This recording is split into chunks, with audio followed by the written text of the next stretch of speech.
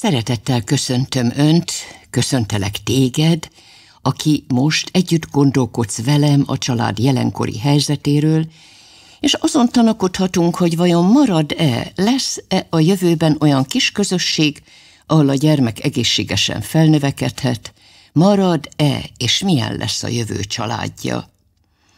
Bevezetőként Sütő András erdélyi írónk szép gondolatait ajánlom a figyelmedbe, aki ezt írta.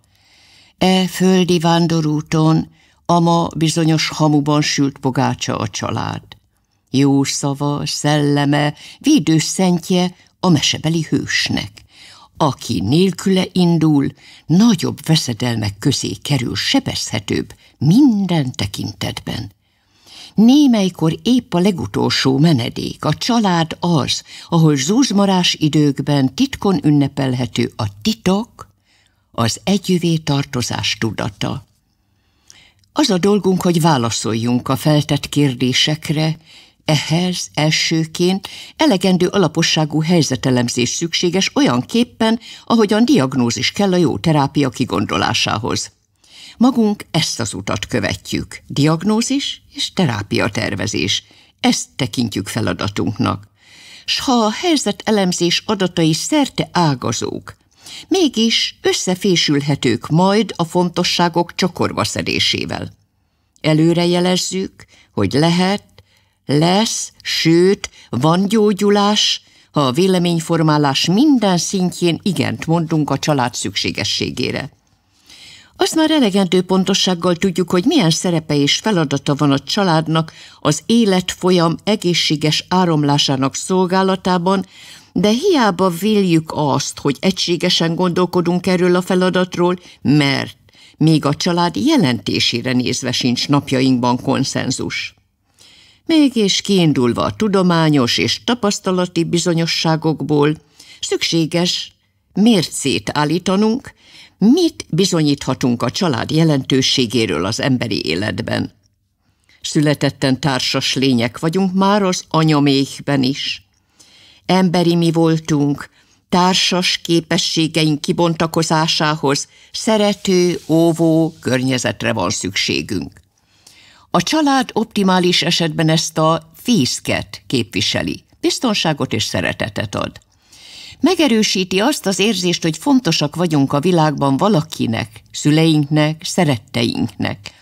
Láttatja, hogy van feladatunk, dolgunk a világban, nem születtünk hiába.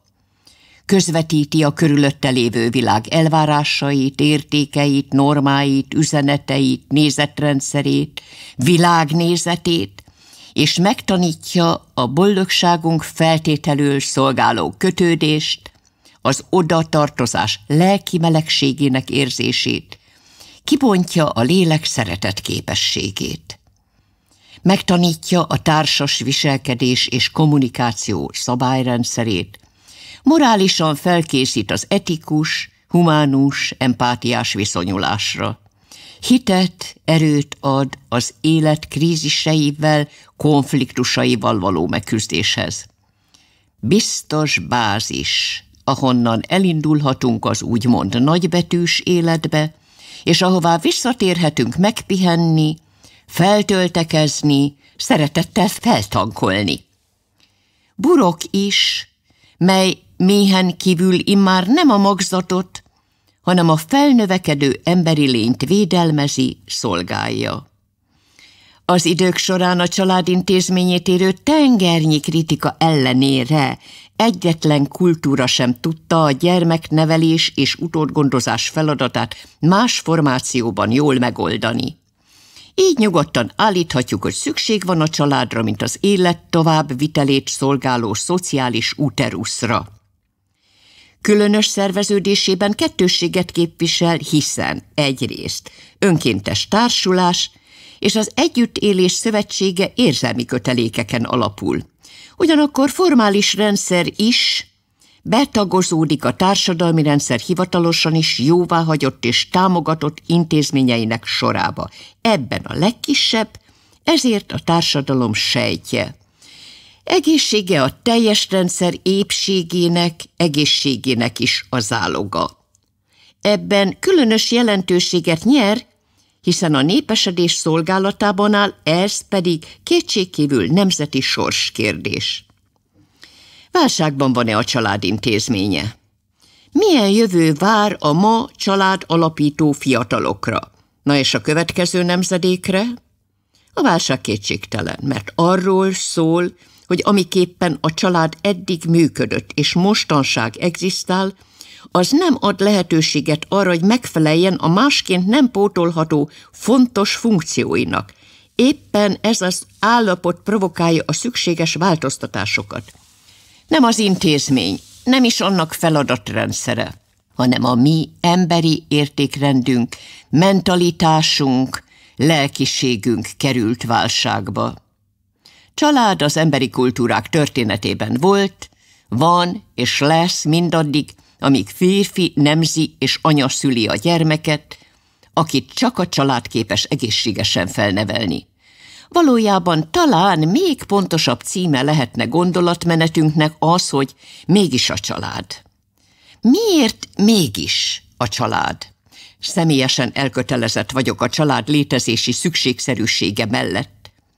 Megújulását jelenünk globalizációs világában, a konzum kultúra elidegenítő hatásainak és boldogtalanító befolyásrendszerének hatalma elleni küzdelemben rendkívül fontosnak tartom.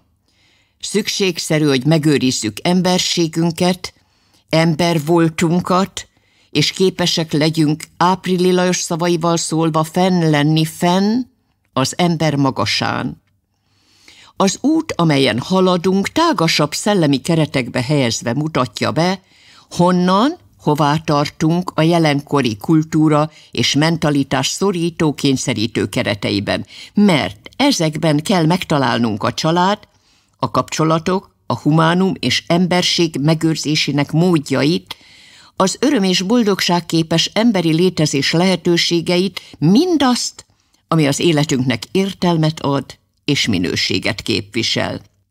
A család alapszerkezete az úgynevezett nukleáris család három tagú, az apa, anya és gyermeke által alkotott kis közösség. Akkor válik a pár családdá, ha utót születik. Régebben úgy is kérdeztek rá egy házaspárra, van családjuk? Ez a gyermeket jelentette. Ritkán gondolunk rá, hogy biológiai, genetikai családunk akkor is van, ha a szociális szinten a családot alkotó személyek már nem képeznek életközösséget, vállás, árvánmaradás vagy egyéb sérülés által. Anyai és apai kromoszómáink ölelkezése lényünk identitásában mindörökre összeköt minket szüleinkkel, sőt, azok szülein át a mögöttük húzódó, származási személyek történetileg végtelenbe vesző sokaságával.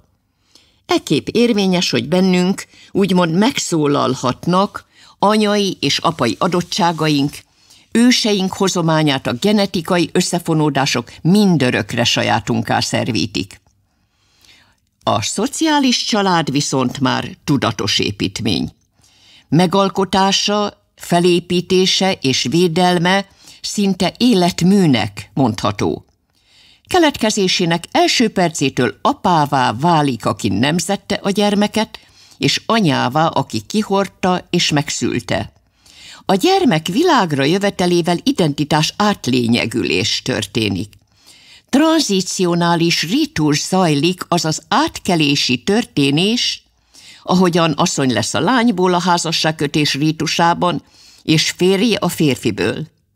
A család alapítása ezért lelki építmény, a gyermek felnevelése pedig szinte műalkotás, maga az élet folyamata.